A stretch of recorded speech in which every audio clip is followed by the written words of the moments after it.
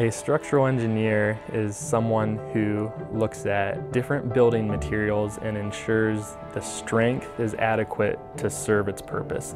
When you look at a building or any structure out there, you can visualize a skeleton behind all the facade and the appearance of that. We designed that skeleton structure so that it can withstand a, a variety of different loadings, whether it be wind loads, snow loads, uh, equipment loading in the building.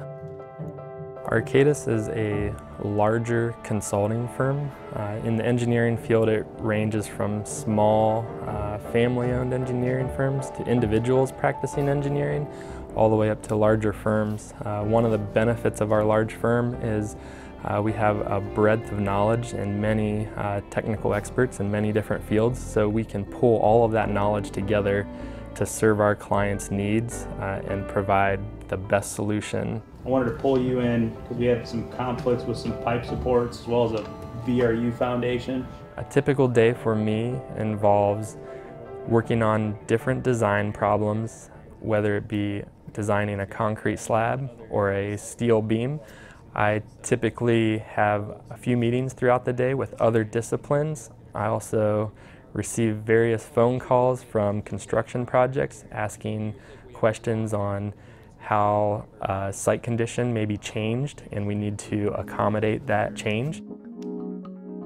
One of the cool tools we have as structural engineers is uh, analysis software. We can actually build 3D models of the structures we are going to build. Uh, we can piece together uh, the structure with each beam and column and then we can apply loading to this structure, uh, whether it be snow load, wind load, uh, equipment loads. We are then able to see a deflected shape of our building. Uh, this is exaggerated, of course, but we can change our, our load cases and see how that affects the building. Constructability review is something else that's very important to us as engineers. A lot of questions we get deal with how is the contractor going to build this? And that's something we want to bring back into the design process to mitigate those concerns.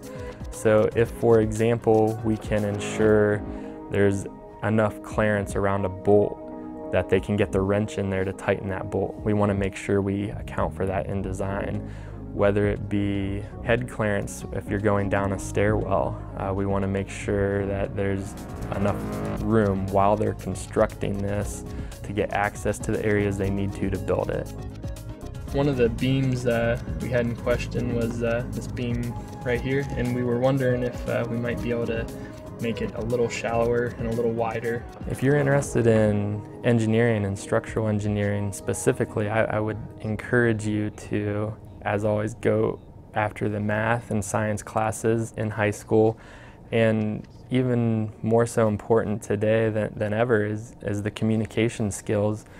I can be the most technically sound engineer, but if I can't communicate and convey my solutions to others and put it on paper, uh, it's lost. Yeah, so that's the beam we're talking about.